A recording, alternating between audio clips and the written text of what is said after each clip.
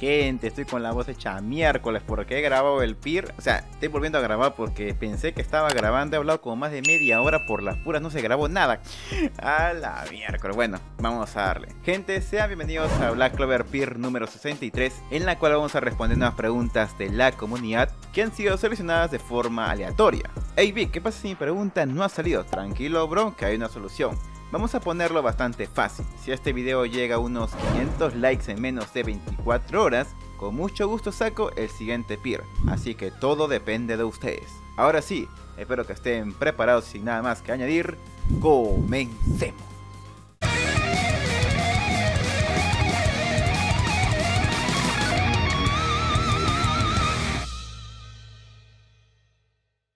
Muy bien, comenzamos con Pia Body. Muy buenas Vic, aquí van mis preguntas como siempre.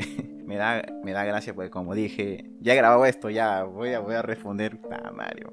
Número 1. ¿Crees que al atrasar la película de Black Clover harán algo positivo en ella como mejorar la calidad? Quiero saber tu opinión al respecto. Bueno, Piabody es bastante factible, ¿eh? O sea, yo creo que es bastante factible pensar de que puede mejorar la calidad de la película, sobre todo porque ha sido atrasada unos 3 meses, por lo que tengo entre 3 o 4 meses. Pero a pesar de ello, ya saben de que yo esto lo he comentado mucho en directo, no la película o cualquier anime se enfoca solo en los movimientos fluidos, la animación también implica el movimiento de cámara, los dibujos, lo que son los sellos, los movimientos de cámara y todo lo demás. Así que yo creo que vamos a ver un poquito más de calidad que el capítulo 158. Algo así me espero. Aunque por ahí estoy viendo algunas personas que piensan de que la película de Black Clover va a ser como un trabajo de Ufotable. No, va a ser un buen trabajo pero al estilo Pierro. Por eso menciono un poquito más de calidad que el episodio 158. Pregunta número 2. ¿Crees que la pelea final de Asta versus Lucius se encuentre libre de guionazos o será algo como la batalla contra Lucifero? Ojalá el bot llegue a elegirme a mí y aquí me despido. Buenas tardes. A ver, yo creo de que sí va a ser igual que la de Lucifero, en el sentido de que va a haber un trabajo en equipo y que al final Asta va a ser quien le dé el golpe final a Lucius, porque esa es la fórmula general de Tabata. Asta, con la ayuda de los demás, vence al enemigo cuando él le da el golpe final. Pero claro, en este caso creo que se va a repetir como lo que pasó con Lucifero, ya que va a haber un team eficaz. Sobre todo porque para enfrentar a Lucius, no cualquiera puede estar ahí, porque con un toque Lucius automáticamente te convierte en paladín o te deja inconsciente. Así que yo creo que Juno, hasta posiblemente Yami, Meroleona, son una muy buena opción. Vamos con la pregunta de Natek. Hola, ¿cómo estás? Mi pregunta es, ¿Piensas que era necesario el time skip de un año antes de abarcar este arco? Saludos desde Panamá. A ver, yo creo que para Tabata no lo era porque él mismo menciona en el comunicado de que él quería seguir. Yo creo de que la Shonen Jam se lo propuso para que así Tabata pueda, no sé, pensarlo nuevamente. Y viendo cómo es que Tabata ha regresado con este mm, la introducción de Lucius como villano y el tema del país del sol, yo creo que está bien. ¿ah? Yo creo que a mí me ha gustado bastante, más que nada con respecto a los paladines y así enfrentarse a Asta Juno y los demás. Vamos con la pregunta de Noah. Buenas Vic, aquí mis dos preguntas. Número 1. ¿Cómo será la reacción de los habitantes del Trébol al ver que hay personas extranjeras y que usan otro tipo de poder, aparte de la magia como es el Jojutsu, y si les va a enseñar a usar el Seten? A ver, vamos por partes. Yo creo que sería por las puras que les enseña el Seten, porque para aprender el Seten tienes que saber el Ki, y ninguna persona del Trébol sabe que el Ki es lo que hacen de forma inconsciente. La única persona que lo hacía de forma indirecta era Asta. Así que a pesar de que les enseñen no podrían sacarlo porque necesitan mucho tiempo de entrenamiento. Ahora, con el tema del Jojutsu, es lo mismo, brother. El Jojutsu y los hechizos o la magia es lo mismo, brother, es lo mismo. Es lo mismo pero con otro nombre, nada más. Y con respecto a cómo van a, a reaccionar cuando vean a Asta con extranjeros, yo creo que se van a sorprender, pero igual todo cuenta. Todo cuenta para poder derrotar a Lucius. Pregunta número 2. Bell estará presente. Lo digo porque cuando apareció Juno con su nuevo aspecto, raramente ella no estaba junto a él, y en la mano donde hacía el Spirit Dive estaba vendada. ¿Habrá pasado algo con la asimilación dejando lastimado a Juno y sin Bell para nerfearlo un poco? ¿O simplemente es decoración? Bueno, mi estimado, al principio pensé de que también Juno se había lastimado, pero viendo nuevamente la, explicación de Dramelech cuando él menciona de que Juno derrotó a los diablos de rango alto, se puede ver de que Juno utiliza eh, lo que es su brazo derecho, y el brazo vendado es el izquierdo, así que esa venta no es por daño. Puede ser de que sea que está guardando algo por ahí, estará conservando maná en esa parte de su brazo, será el Notos, tendremos que esperar. Vamos con la pregunta Alejandro. Hola Vic, saludos, ¿cómo estás? Espero que bien. Muchas gracias bro, espero que tú también. Mi pregunta es sencilla. ¿Crees de que Juno le puede hacer frente o darle una buena batalla a Lucius? Si la respondes, muchas gracias y si no, igual. Muchas gracias por la consideración. A ver, yo creo que darle pelea, sí. Pero vi, al punto de que pueda derrotarlo, ni fregando, loco. Ni fregando, Juno va a derrotar a Lucius. Posiblemente lo ataque con todo y dé la sensación de que lo pueda derrotar, pero no, nada, nada. Es Lucius probando o simplemente mofándose y nada más. Yo creo que al final Lucius se lo va a comer. Justo cuando esté a punto de darle el golpe final, aparece Asta y lo salva. Vamos con la pregunta de Jafet. Bueno, más que una pregunta, quisiera saber tu opinión sobre si la silueta que aparece capítulos atrás, donde Lucius está con la hermana Lily, Dagnatio y las dos siluetas que aparecen, como se dijo de que Lucius puede traer la vida a las personas, si este es el caso con Morgen, ¿crees que sería buena idea de que si reviva y no muera, y así Natch tenga a su hermano otra vez con vida? A mí en lo personal no me gustaría, siendo que sería un poco forzado, y que todo este trasfondo que tiene con Yami, Natch e incluso los Blackpools se arruinara. Bueno, esa es mi opinión, no sé tú qué pensarás. Bueno, mi estimado, pienso exactamente lo mismo que tú. O sea, yo pienso que si es que Lucius eh, revive a Morgen es para que la pelea sea dramática y por así decirlo darle una prueba a Nachito. No creo que sea necesario de que Morgen viva, porque ahorita mismo Nach ya superó todo ese problema, y ahorita mismo tiene una nueva familia que son los Blackpools. Dejar a Morgen con vida sería innecesario. ¿Y por qué no decirlo? Como dices tú, sería forzado. Vamos con la pregunta de Hasta Black Clover Fan. ¿Cuándo entrarán los toros negros? ¿Y cómo crees que los cuatro reinos están manejando el tema de Lucius, tanto Pica, Corazón, Diamante y Trébol? A ver, con respecto a los toros negros, supongo que estarán buscando una forma de cómo encontrar a Asta. Lo que yo quiero saber cuál es la pista que tienen, o con qué pista van a partir. O mejor dicho, cómo es que Natch ha salido a buscar sin saber nada, eso quiero saber. Y con respecto a los cuatro reinos, aquí te dejo mi predicción. Yo pienso que en el reino del Trevo han elegido un rey mago provisional, posiblemente entre Nozel y Fuego Leo. Me decato por Nozel siempre y cuando el rey mago tome papel importante, pero si el rey mago queda relevado o quitado de pantalla, prefiero que sea Fuego Leo. Y ahora, una vez con el nuevo rey mago, yo creo que van a empezar a como que coordinar alianzas van a ir con Diamante para que así Mars, que para mí va a ser el líder en ese entonces, va a venir junto con un grupo y se va a enfrentar a Morris Paladin. Para que así de cierta forma salven un poco el tema de Diamante, porque para mí Diamante es la mayor decepción de Black Clover hasta ahora. Con respecto a la pica, me encantaría de que venga la madre de Juno porque ver la magia lunar en acción es bastante tentador. Y con respecto al reino de corazón, pienso de que Noel y Secre han ido a pedirle ayuda a Loropechica. ¿Cómo así? No sé la verdad, pero pienso que ahí está la ayuda. No por nada Noel y Secre no están en la base de los Black Bulls cuando han ido a buscar Asta. Vamos con la pregunta de Adrián. Hola Vic, buenos días, salúdame, please, soy de Perú. Un saludo para ti, bro, también soy de Perú. Chócalas. Mi pregunta es, ¿por qué es tan hermoso y cuál fue tu inspiración para iniciar tu carrera en YouTube? ¿Y por qué elegiste el estilo de video que haces? A ver, con hermoso te refieres a mí, te lo agradezco, pero sinceramente, pues yo pienso de que no hay. A ver, no me considero alguien sumamente atractivo, tampoco horrendo. Yo creo que estoy entre regular a normal. Ya cuando ustedes me vean, cuando ya muestre una foto o no se haga directo con cámara, ya usted seguro me lo confirma.